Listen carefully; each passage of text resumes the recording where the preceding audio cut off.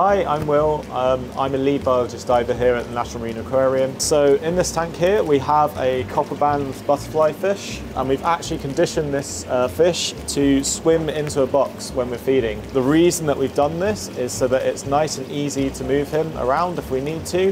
He'd be very difficult to catch and it would be stressful, very stressful for him if we had to try and catch him.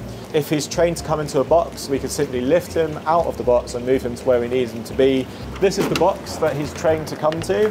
Um, it's a little bit worse for wear at the moment. So what we do is we just really gently introduce the um, box to the display tank. And you can see he's already showing a bit of interest and he'll just swim in like this and quite happily sit there. And then we'll just reward him with a little bit of food.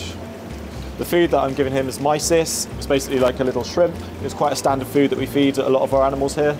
He does this uh, twice a day every day, so he's really used to it. Um, there's no stress at all, and he's quite happy being in there while he's got food. So yeah, he'll sit quite comfortably in there and just eat his food uh, while I'm able to feed the other animals in the display. You know, it's a common misconception that people think um, fish have a three second memory like goldfish. That's really not true. As you can see here, uh, this fish recognises the box, he knows exactly what he needs to do, and he's quite happy doing it. Okay, so he's had his fill now, so I'm just going to let him out and he'll swim off quite happily.